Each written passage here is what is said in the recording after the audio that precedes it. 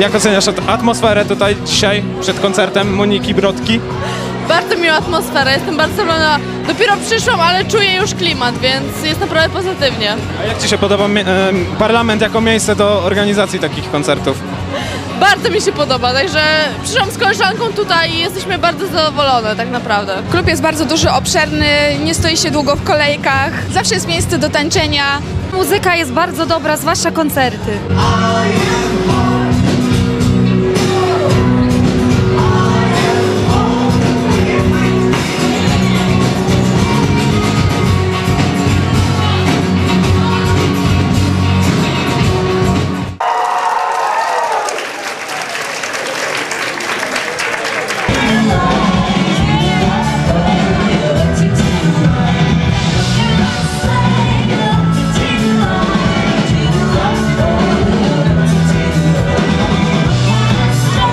Pani jest fanką Moniki Brodki?